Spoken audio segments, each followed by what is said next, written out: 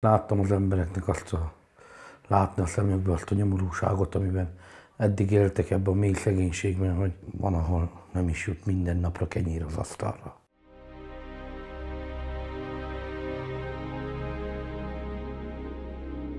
Egy zsákfaluban, a Borsodi Cserehádban lévő Csenyétén vagyunk. Ez az ország legszegényebb települése. Az átlagos havi nettó keresett 37 ezer forint. Milyen itt az élet, és hogyan tudnak megélni az emberek úgy, hogy az élelmiszerek ára közel 45%-kal emelkedett egy év alatt? Erről kérdezzük az itt lakókat. Napról napra oldjuk meg, tehát mi nem tudunk előrébb számolni semmivel sem, mert mivel tudnánk számolni. Nem tudom, hogy holnap mi lesz. Holnap után vagy jövő hónapban azt fendöntik el. Nehéz az embereknek, nincs semmi lehetőség, csak a közmunka. Az a baj, ebből a közmunka a bérből nem nagyon lehet megélni.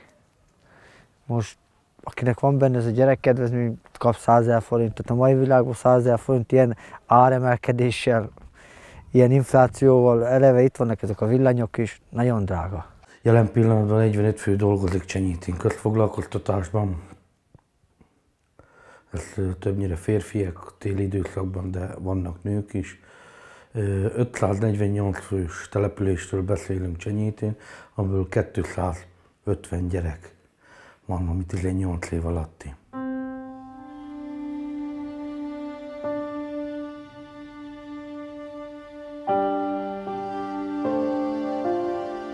Ebben a 72 házban egy olyan 8 lakásban van vízfürdőszoba. Nincsenek olyan fizikumban az emberek, hogy kimerem mondani azt, hogy, hogy egy gyárba, a posba, vagy valahol 8-10 órát kell robotolni, hogy megállnák a helyüket sajnos, mert, mert szerintem alul tápláltak is sajnos itt az emberek is. Nincsenek olyan fizikumban, tisztelet a kivételnek természetesen. Havonta 100, 148 ezer forintból élünk, mert jelenleg csak a párom dolgozik az önkormányzatnál, én csak szociális segélyt kapok. Ennyi pénzből szinte lehetetlenség, mert nem csak hogy élelemre, mert több mindenre kellene pénz, de szinte még az élelemre is kevés. Amit úgy szoktunk többet venni, abból ma nem tudunk olyan sokat venni, mert a húsoknak ugye hegyekben van az ára. Most ugye 50, 54 ezerből élünk, meg a vejem ugye dolgozik, két hetente keres százezret, így, így jó. Nincs víz, de van villany.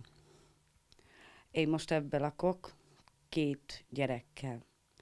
Amabban laktam a kisebb, de azt átadtam a lánynak. Azért nekik jobban kell az, de úgy nekünk ez így megfelel. Itt van a központi kút, aztán gázon melegítek vizet, és akkor kádba fürdünk. A tisztalkodás az kell. Attól függetlenül, hogy nincs fürdőszoba, nincs víz, tudunk mosakodni. Az kellene, hogy 2010-hez képest mennyit mentünk előre, a jelenbe, vagy jelenbe vagyunk. Tehát most kell ö, olyan dolgokat tenni, ami, amit, ami, amiből a szegények is meg tudnának. Vagyis nem, nem, hogy még egyszer mondom, nem milliómosok akarunk lenni, meg nem gazdagok akarunk lenni, csak élni akarunk bizonyos, vagyis olyan fizetésből, ami, amiből tudjuk biztosítani a gyerekeknek az élelmet, a ruhát, a, a, a minden egyéb dolgot. Hát ide több munka kellene, még ha csak a közmunkán is, akkor is. Tehát, hogy minden ember tudjon részesülni a munkában.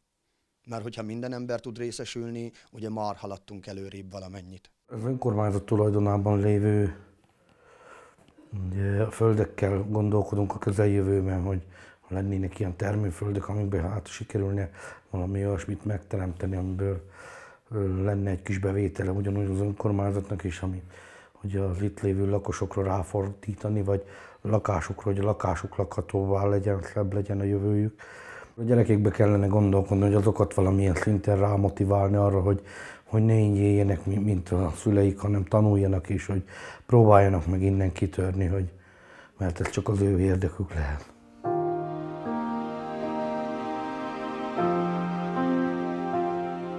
Nem akarok elköltözni. Nem, nekem pont jó itt.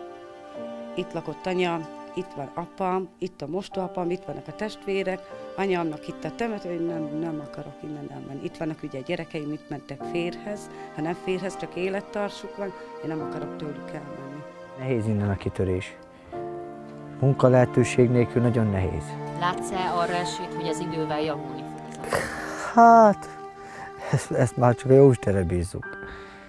Ő mit szab nekünk.